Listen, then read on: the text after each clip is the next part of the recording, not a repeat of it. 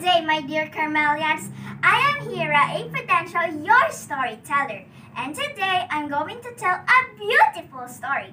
The title of the story is The Ugly Tree, written by Matt Berry.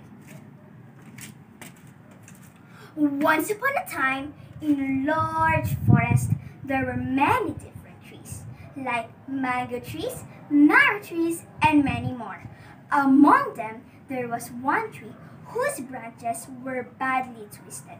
It looked very ugly compared to other trees. The other trees used to tease him.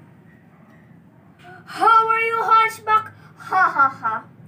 You are an ugly tree. Ew! And their laughter made the ugly tree feel very sad. Why I'm so ugly? Why did God do this to me? Nobody needs me.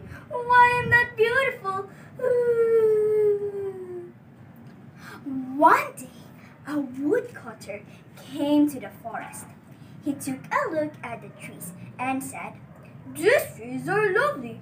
I must cut them. And he picked up his axe. Chop, chop, chop. And one by one, the trees started to fall. And then he saw the ugly tree and said, Hmm, this tree seems to be useless for me. I could make straight log of this ugly tree. And he walked away.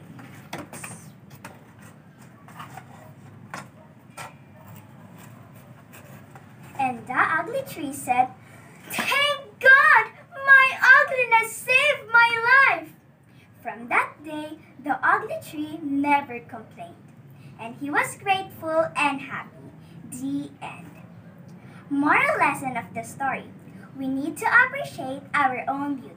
We should never let ourselves down. I hope you enjoyed my story, The Ugly Tree. This is Hera A. Prudencio of Great Tree Generosity.